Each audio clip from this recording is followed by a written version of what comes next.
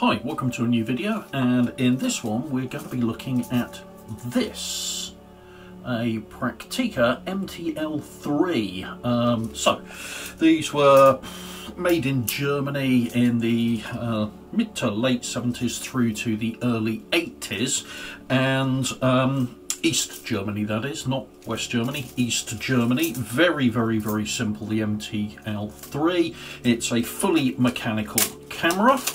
Um, so it does have a battery, does have a light meter, but the battery purely runs the light meter, absolutely nothing else. You can take the battery out and you still have every single shutter speed available to you. It's stopped down metering, so you do need to press this little lever on the top here, which also acts as a depth of field preview. Um, M42 screw mount thread on there and uh, this one is a 50 mm 1.8 Pentacon lens uh, that we have here. Now this is actually, um, it's not the one, but the MTL3 was the very first camera I ever owned. Very, very first one. Well, not Actually, that, that's not true. Very first camera I ever owned was a Kodak disc camera, I think, when I was about 10. Um, but in terms of SLRs, this was the very first SLR I owned. Um, was given it by my uncle. Um, this one as I say but one of them. This one I picked up on eBay as I got rid of mine many years ago quite foolishly although this is a particularly nice example. Um, it's probably actually in better condition than the one I originally had. Uh, now one of the nice things about these as well is it actually has a metal shutter rather than a cloth shutter, which does help preserve its longevity. They're fairly much as you would expect from East German 70s school of design, so a little bit rugged and brutalist looking. They're actually incredibly well built, if not particularly pretty. Uh, now, I haven't just bought this as a doorstop, although it has joined the collection of cameras you can see behind me, but it will be used. And what I'm going to use in it is this a roll of TruePrint 35mm film. So obviously it's a 35mm film. Um, FG Plus TruePrint. Now TruePrint were a um, printing company in the UK, mail order printing company in the UK, um, and I've got no idea when they disappeared from that market. It does say on here, use within 24 months of receipt. I've got a feeling this roll is over 20 years old, so this is definitely expired film by quite a large margin this is expired film.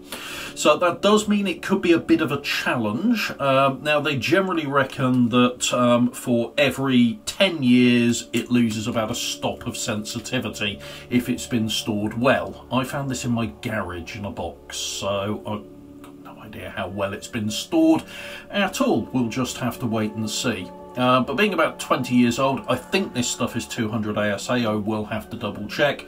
Um, but I reckon I'm probably, as a result, going to have to whack this down if it is 200 ASA to about 50 ASA.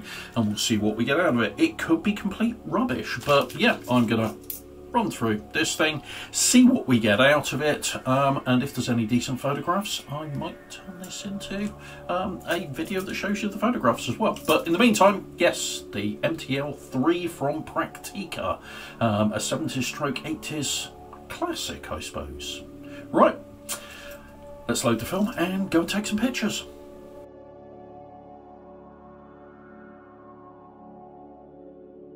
So as you can see, we did get some shots out of the MTL3 and our SupaSnaps film. A um, couple of things about the film.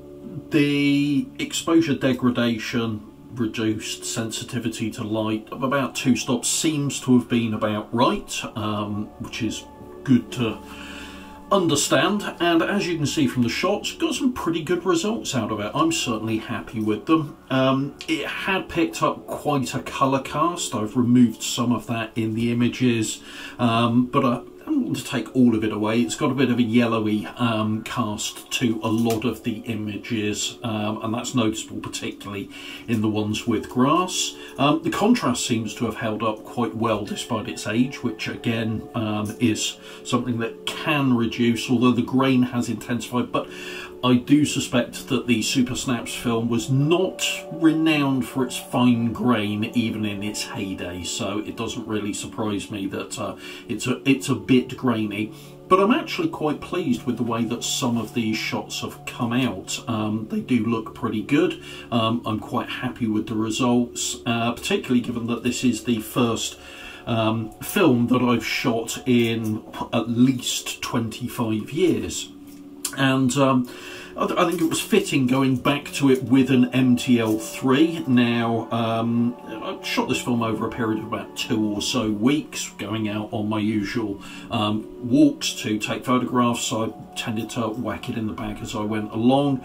Only one lens, the 50mm. Um, I haven't picked up any more uh, M42 lenses yet, so uh, we were sticking to a nifty 50, and it was it was nice to yeah, be reduced back to that. It certainly was interesting hitting the shutter and not getting that instant feedback if you want it that digital gives you. Um, unfortunately, if I just show you the more um, keen-eyed amongst you may notice that the MTL3 has unfortunately suffered a bit of a loss. I don't know where and when, but the self-timer lever has fallen off. Um, I've got no idea when that happened and I have tried back tracing my steps to see uh, if I could find it anywhere, but to no avail. So um, I do apologise to the little old Praktica. I have, um, after its almost 40 year, probably 40 year life, managed to lose a bit of it in the last two weeks. So very sorry for that. But it stood up well, and I was actually quite impressed with how accurate the metering was, how usable the focusing screen was. Um, although 1.8 was you know a fairly bright lens to have on it I'm not convinced if you put slower lenses on there it wouldn't get quite dark quite quickly. Um, but it did the job and certainly there was some quite tricky lighting conditions in some of the shots and it worked quite well in that regard. So really pleased with how it turned out. A couple of things I'd forgotten um, actually one mainly I'd forgotten about the um, MTL3 is it's got something that not a lot of cameras of its age. All really manually orientated 35mm cameras have and that is um, an indicator after you've released the shutter. So in the MTL3 little black kind of pointed arrow indicator pops up in the lower left hand corner of the focusing screen to indicate that you've taken a shot but not wound the film on yet. That's actually more useful than a lot of people give it credit for. So yeah, really impressed with how it's held up. Um, it's been a long time since I've used one of these, uh, probably at least 30 odd years, uh, and really enjoyed it. So this is my trip back into film photography. It won't be my last. Um, just to give you an idea of costs, I picked this one up on eBay. Uh, as I say, it was pretty much mint until I lost a bit of it. With the 50mm um, 1.8, and that's a Pentacon, so not the best, but not the worst. And I paid £35, um, pretty much, yeah, around about £35 including postage. You can occasionally pick them up cheaper than that in slightly ropier or worn condition, but is it an ideal first introduction to um, 35mm photography. Not necessarily the best value for money you're going to get, no. Um, there are better things out there that will allow you to get more for less money, but it's not a bad start. For me, it was more of a nostalgia hit. Um, but there's a later variation of the Praktica that I'll be coming on to that I've picked up, and if I just uh, grab that off of the shelf up here that we will be coming and looking at and that is the Praktica BX20 which was a later uh, Praktica model and the second SLR I ever owned. So we will be coming back and having a look at this in a, uh, a future video. But until then thank you very much for watching. Hopefully you found this interesting and uh, take care and goodbye